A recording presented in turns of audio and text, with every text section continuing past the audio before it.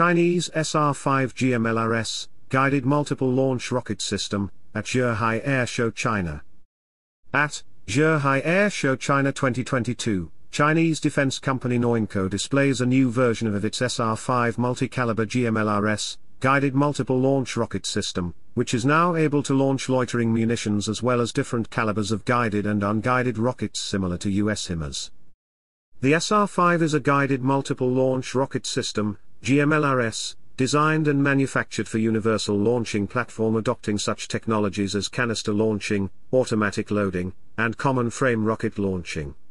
Featuring intensive and accurate firepower, a high level of automation, rapid reaction and excellent maneuverability, the weapon can realize common frame launching of 122mm to 220mm guided slash unguided rockets to achieve a highly efficient combination of surface suppression and precision strikes.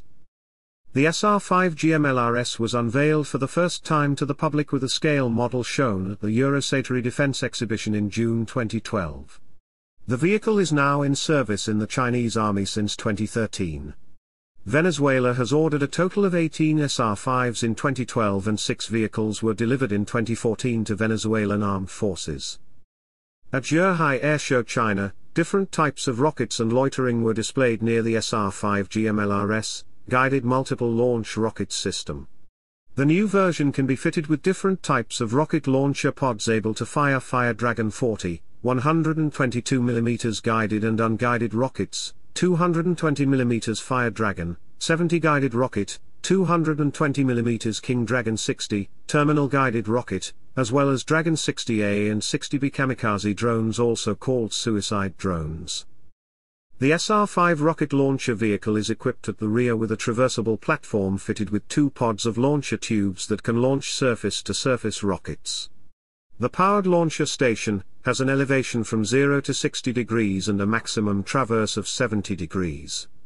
In the firing position, two stabilizers are lowered to the ground at the rear of the truck chassis to provide a more stable firing platform.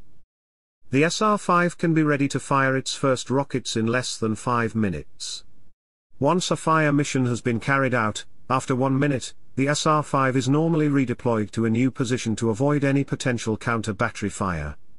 New rocket pods can be rapidly loaded in about 5 minutes using the onboard mechanical handling system fitted inside each pod of the launcher platform. Additional rockets pods are carried by reloading truck carrying a total of 4 pods. Reloading is made by the crew in less than 10 minutes.